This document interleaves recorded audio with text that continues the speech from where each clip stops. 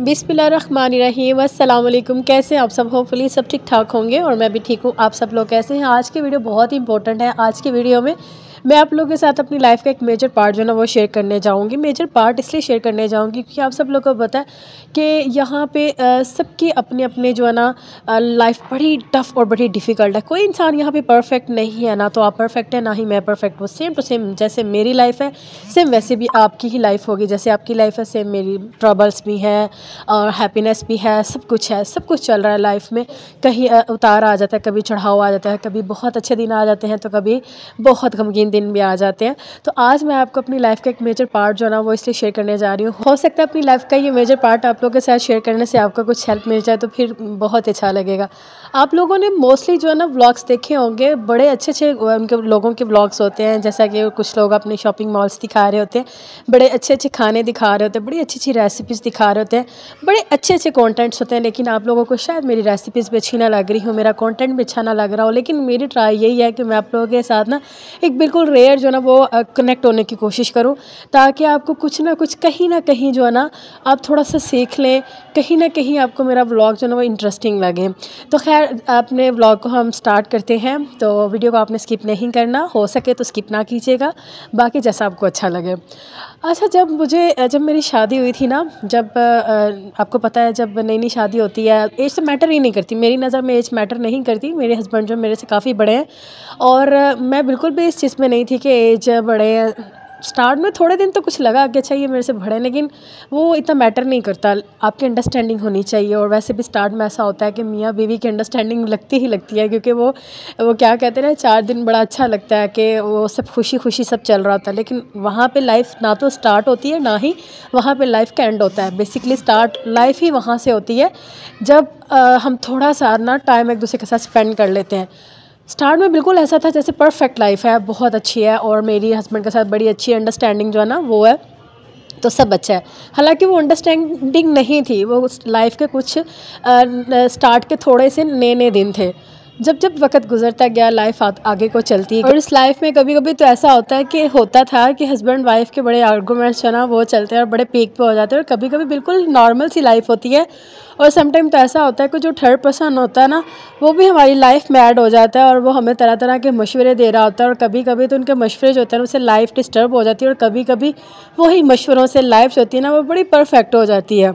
यहाँ पे बात करने का मेरा मतलब ये है कि कोई भी इंसान जो ना, वो परफेक्ट नहीं होता। उनको हर एक, हर इंसान को ना ट्रबल्स फेस करनी पड़ती है। जैसा कि हमारे पेरेंट्स को ही ले ले। कभी कभी ऐसा होता है ना, हमारे पेरेंट्स होते हैं, वो भी हमसे इख्तलाफ जो है ना, उनको होता है और हमें भी अपनी पेरेंट्स की कोई ना कोई बात होती है ना मतलब उनमें हम एग्री नहीं करते कि हमें हमें अम्मी आपकी ये बात नहीं पसंद आ रही या नहीं नहीं, यहाँ पर आप ठीक नहीं है। ऐसा होता है ना सेम टू सेम बिल्कुल हस्बैंड वाइफ का भी रिलेशन ऐसा ही होता है। और बल्कि टाइम टू टाइम जो होता है ना, हम उनको ज़्यादा अंडरस्टैंड करना समझना शुरू कर देते हैं और ज़्यादा हम practical life basically practical life में आना शुरू हो जाते हैं।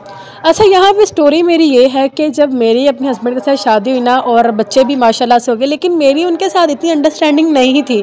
शायद उसकी रीज़न ये भी थी कि मेरी एज कम थी या मैंने अपने घर में कोई बहन की लाइफ नहीं देखी थी, अपनी किसी कज़न की लाइफ ऐसी नहीं देखी थी, जिसमें मैं, जिसमें मेरी और हस्बैंड की अंडरस्टैंडिंग जो थी ना, वो होनी मैं समझती थी कि ज़रूरी है। शायद मैं समझती थी मेरी एज कम में मुझे समझने की ज़रूरत है, शायद मुझे किसी को समझाने की ज़रूरत है, शायद मैं ही गलत हूँ, शायद मैं ही गलत हूँ।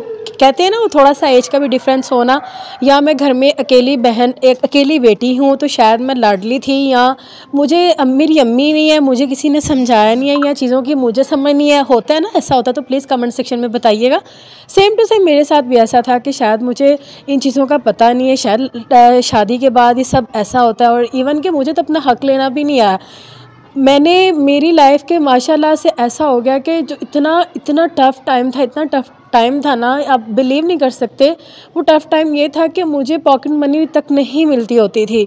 घर, वो क्या कहते हैं ना आपने सुना होगा मोस्टली ऐसा होता है, कहा जाता है, ये तुम्हारा घर है, बच्चे तुम्हारे हैं। घर भी हो गया, बच्चे भी हो गए, लेकिन कभी कभी औरत को ना एक पर्सनल उसकी नीड्स होती हैं, उसकी भी अपनी पर्सनल ज़रूरियात होती है कि ज़रूरी नहीं होता कि उसको कपड़ा ही चाहिए, ज़रूरी है उसको जूता ही चाहिए। हंड्रेड परसेंट वो कपड़े पहन रही है हंड्रेड परसेंट वो जूते पहन रही है, लेकिन कहीं ना कहीं उसकी पर्सनल ऐसी रिक्वायरमेंट्स होती हैं, ऐसी नीड्स होती हैं, जो सिर्फ़ उसको ही पता होता है। तो आप बिलीव नहीं कर सकते कि मेरे पास जो है ना अपनी पर्सनल नीड्स के लिए भी जो है ना, वो बिल्कुल भी एक अठन्नी नहीं होती थी। और शादी के बाद जो थी ना, इतनी समझ थी, इतनी समझ थी कि अगर मैं किसी से मांगूँगी या कहूँगी तो कोई क्या कहेगा कि इसके पास पैसे नहीं है या ये है। एनी हो वक्त के साथ साथ में ये सारी चीज़ें जो थी ना कहीं तो आ, समझ में आती थी सारा कुछ और कहीं जो थी ना उसको ना समझी में इग्नोर कर दिया जाता था कि नहीं टाइम गुजरा टाइम गुजरा टाइम गुजरा है। हर चीज़ के लिए एक अच्छा औरत जो होती है ना वो कंप्रोमाइज़ करती है। आपको पता है मैंने औरतों को ही कंप्रोमाइज़ करते देखा अपनी लाइफ में। शायद मैं खुद कंप्रोमाइज़ करती हूँ या करना मुझे आता है इस वजह से इस पर हाफेंगे मैं बड़े कॉन्फिडेंस ओवर कॉन्फिडेंस से बात कर रही हूँ कि औरतें ही कंप्रोमाइज़ करती हैं।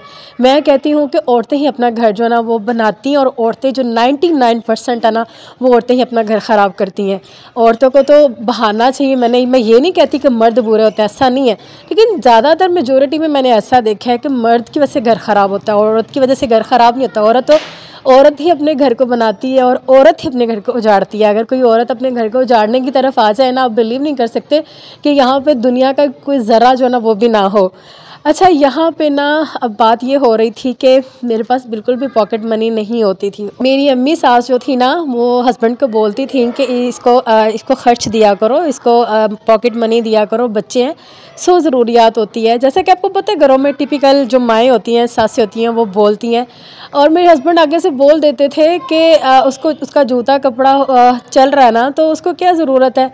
कुछ मर्ज होते हैं ना वो बेसिकली एक्चुअली समझते हैं वो कि बड़ा महान काम कर रहे हैं। हम मतलब हमें हम नहीं दे रहे तो बड़ा महान काम कर रहे हैं। ऐसा नहीं है बल्कि ये तो हमारे ह, हमारे दिन में भी लिखा हुआ है कि बीवी को उसको अपनी जेब की हैसियत के मुताबिक उसको खर्च दो। एनी हो मेरी मेरी सास जो थी ना वो बड़ा वो खप खप के ना अक थक गई कि उसको खर्च दो लेकिन मुझे खर्च नहीं मिलता होता था। और इवन के जब मैं अपने अबू के पास जाती थी ना तो वहाँ पर जाके ना मतलब कई ऐसी मेरी चीज़ें खाने का भी दिल करता था ना तो मैं वहाँ पे जाके ना इस तरह के अपने मामला करती थी। ये नहीं कि मैं अपने पेरेंट्स की साइड ले लूँ, जो एक जनवन एक हकीकत बात है, मैं वो बात आप लोगों से शेयर कर रही हूँ।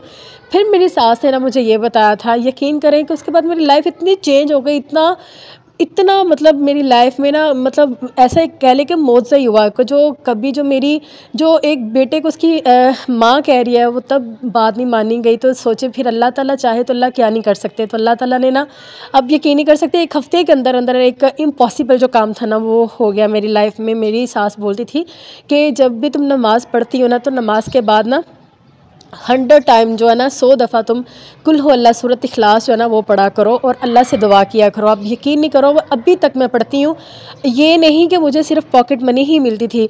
मेरे, उसके बाद भी कई काम ऐसे थे, इतने काम थे जो मतलब सवाल ही पैदा नहीं होता था, सवाल ही पैदा नहीं होता था कि मेरे काम हो जाएँगे। तो तो आप इमेजिन नहीं करेंगे, मेरे बहुत से काम जो थे ना, वो हो गए थे। अच्छा मैंने जो है ना, नमाज़ स्पेशली मैं फ़जर और इशा की नमाज़ के बाद जो था ना हंड्रेड टाइम्स जो था, सूरत इखलास की मैं तलावत करती थी और पढ़ के, तस्वीर के ऊपर पढ़ के फिर मैं दवा करती थी। और आप यकीन नहीं करते, जब मैंने ये पढ़ना स्टार्ट किया, पूरे वन, एक हफ़्ते के बाद, एक वीक के बाद जो है ना, अल्लाह ताला ने मेरी इतनी करीब से सुनी, इतनी करीब से सुनी कि मैं आपको बता नहीं सकती। हस्बैंड ने सास को बोला कि, इसे पैसे दे दिया करें ताकि ये अपनी पर्सनल जो ज़रूरियात है ना, पूरी कर सके। इतने पैसे हो जाते थे कि मैं अपनी पर्सनल ज़रूरियात जो है ना, उनको पूरा आसानी से कर लेती थी और मैं इतने में खुश थी। इवन क्या मेरे बच्चों को भी आदत है? मेरे मैंने अपने बच्चों को भी ये सिखाया और मेरे बच्चे अभी तक वो पढ़ते हैं मतलब स्कूल जाते हैं कोई काम करते हैं स्टडी करते हैं कुछ भी करते हैं ना तो वो ये काम करते हैं और यकीन करें कि मुझे बच्चों की तरफ़ से भी कोई परेशानी नहीं होती।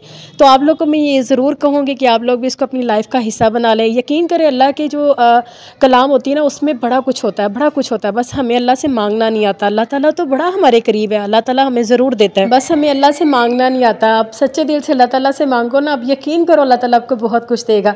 तो आज मेरा जो था ना, बस मेरी वीडियो इतनी थी, आप लोग के साथ ये शेयर करना बहुत ज़रूरी था। आप इसको अपनी लाइफ में एक दफ़ा ट्राई करके देखें, फिर आप मुझे कमेंट सेक्शन में ज़रूर बताना। और कि आपको ये वजीफ़ा जो ना हंड्रेड परसेंट हंड्रेड परसेंट बहुत से काम, ये नहीं कि सिर्फ़ यही काम के लिए, बहुत से कामों में ये आपकी हेल्प जो है ना, वो ज़रूर करेगा। इन ताला नई वीडियो में आप लोग के साथ मुलाकात होगी। अपना ढेर सारा ख्याल रखिएगा तो हमें याद रखिएगा। अल्लाह हाफिज़, जी बाय बाय